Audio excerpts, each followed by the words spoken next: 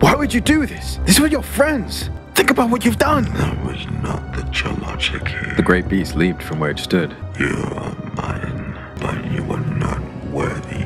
You are a shell